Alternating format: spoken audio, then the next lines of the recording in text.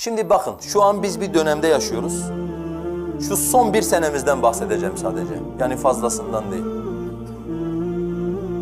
Yöneticiler ellerinden gelen her türlü zulmü yapıyorlar ve onlara ister akidevi anlamda ister siyasi anlamda muhalefet eden kim varsa zulmediyorlar. Yani ağzınızı açsanız ağzınızı kapatmaya çalışıyorlar. Şu yanlıştır deseniz hayır bunu söyleyemezsin diyorlar. Allah'ın kitabına göre hükmedin. Bu da bizim fikrimizdir. Sizin nasıl fikirleriniz var? Siz nasıl saçmalıyorsunuz? Siz nasıl Allah'ın hakkında hiçbir delil indirmediği konuları insanlara gündem diye dayatıyorsunuz? Biz de kendi görüşümüzü söylüyoruz. Biz de Allah'ın şeriatına göre yönetilmek istiyoruz.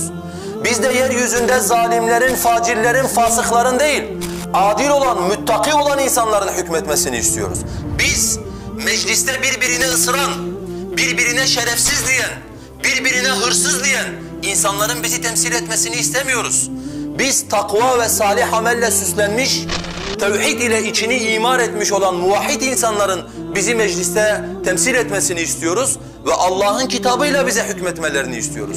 Bu da bizim görüşümüzdür. Eşcinsel görüşünü söylüyor, sorun yok. Zalim görüşünü söylüyor, sorun yok. Putperest Kemalist görüşünü söylüyor, sorun yok. En zalim insanlar görüşlerini söylüyorlar, sorun yok. Komünist ben komünizm istiyorum diyor, sorun yok. Sosyalist ben sosyalizm istiyorum diyor, sorun yok. Ama biz Allah'ın şeriatını istiyoruz dediğimiz zaman bu suç oluyor. Ya da birileri yahu kardeşim siz insanlara zulmediyorsunuz. Siz suçluları cezalandıracağım derken sapla samanı birbirine karıştırıyorsunuz dediğinde konuşmayacaksın, ders yapmayacaksın, konuşursan seni içeriye alırım, arkana dosya takarım.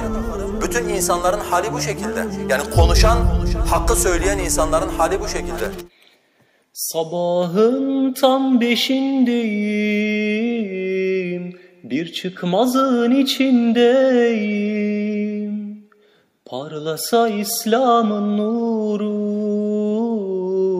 o hayatın peşindeyim. Parlasa İslam'ın nuru, o hayatın peşindeyim. Dikenleri güller sarsa, iffet haya ruha dolsa, yürekleri sevda sarsa, o sevdanın peşindeyim. Yürekleri sevda sarsa, o sevdanın peşindeyim.